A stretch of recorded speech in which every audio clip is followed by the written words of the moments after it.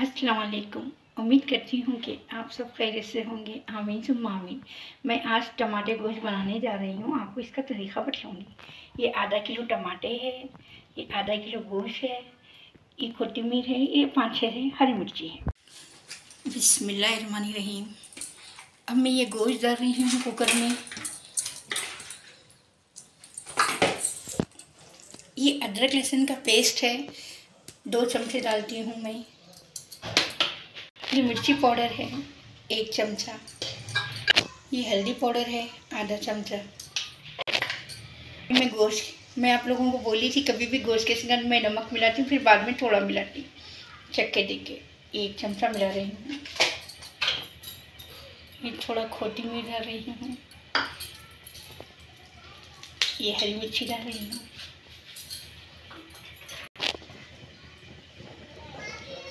ये दो फली तेल डाल रही हूँ।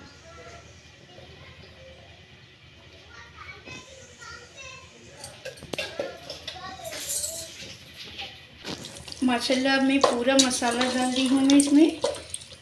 अब मैं इसको भूनने के बाद आप लोगों को टमाटर का बतलाऊँगी डालना माशाल्लाह माशाल्लाह। आप लोग देख सकते हैं अच्छा सा मिर्ची नमक भुने गया है मेरा। अब मैं इसमें थोड़ा सा एक गिलास पानी डालूँगी ताकि गोश्त गल जाए।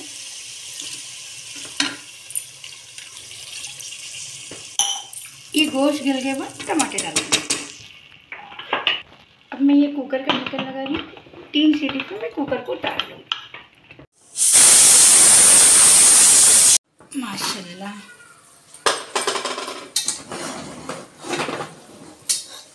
माशाल्लाह, देखिए अच्छा सा गोश्त गल गया है। थोड़ा सा भून के मैं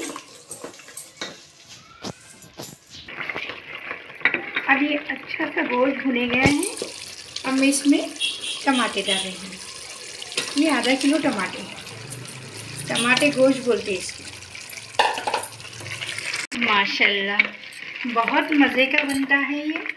और गोश्त के संगत टमाटरों के संगत मज़े का बनता है। फिर खाना और रोटी भी खा सकते हैं इसके साथ। माशाल्लाह। अब मैं ये ढक्कन लगा रही हूँ। एक सीटी पे मैं निकालूँगी। फिर आपको बतलाऊँगी टमाटर भुने के बाद। माशाल्लाह। अच्छे से टमाटर भी भुने गए हैं। गोश्त भी भुने गए हैं। माशाल्लाह, बहुत अच्छी बनी है मेरी चटनी। दिखने में ही बहुत अच्छी है, खाने में भी बहुत अच्छी रहेगी, इंशाल्लाह। माशाल्लाह। अब मैं ये थोड़ा खोटी मिर्च डाल रही हूँ, दम पे। ये हरी मिर्ची डाल रही हूँ। माशाल्लाह, हरी मिर्ची खाने से बहुत अच्छा लगता है सेहत के लिए। अब मैं आपको नमक चख के बतलाऊँगी आपको। थोड़ा सा नमक कम है। मैं अब इसमें एक चमचा नमक डाल रही हूँ। माशाल्लाह माशाल्लाह, आप देख सकते हैं, टमाटे अच्छे से भुने गए हैं ये। माशाल्लाह, बहुत अच्छी चटनी बनी है। माशाल्लाह, ये मेरा सालन पक गया है। टमाटे गोश्त की चटनी बन गई है। अब मैं आपको चक्के बतलाऊँगी। खुशबू बहुत अच्छी आ रही है।